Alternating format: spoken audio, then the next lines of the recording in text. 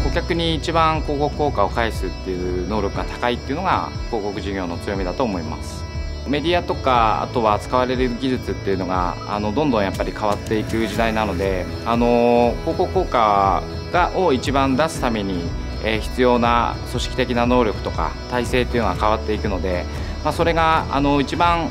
えー、ベストのパフォーマンスが出るような組織体制を常に考えて、えー、変化対応をしてます。まあ、2000年代初期とかはやっぱり営業力がすごく重要なファクターだったんですけどあのそれからやっぱり運用の能力が必要になってその運用力っていうのを鍛えてきて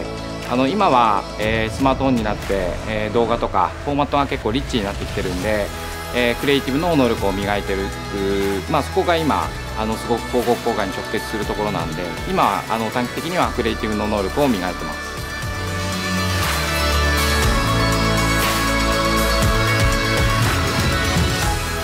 Facebook や Twitter、LINE などのタイムラインに掲載されるインフィード広告の需要が増えています。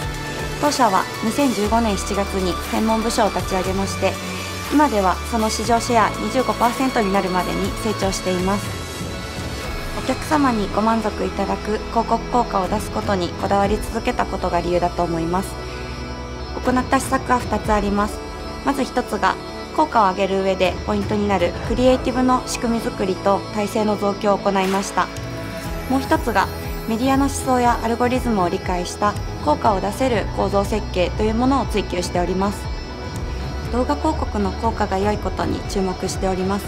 マーケットに先行して高速で大量に動画を作れる仕組み作りを行っております。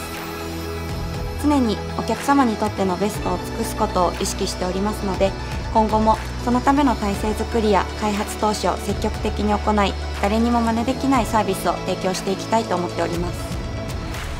の現状の、えー、高い営業利益の水準を維持しながら、えー、広告宣伝予算の取り込みグローバル展開をしっかり行って規模を拡大していきたいというふうに思ってます。